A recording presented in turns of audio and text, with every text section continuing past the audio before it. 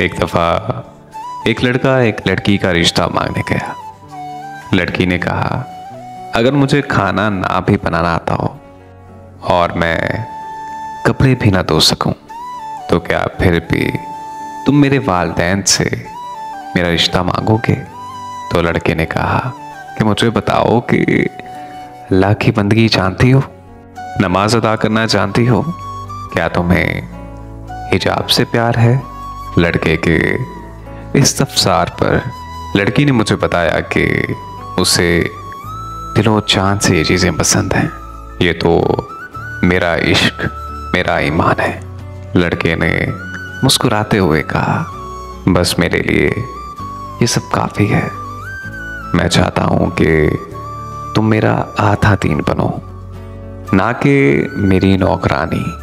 लड़की मुस्कुराते हुए बोली कि अगर मुझे खाना ना भी बनाना आता हो तो भी मैं ऐसे शख्स के लिए बनाना ज़रूर सीखूँगी, जो मुझे अपने दीन का निसफ हिस्सा समझता हो।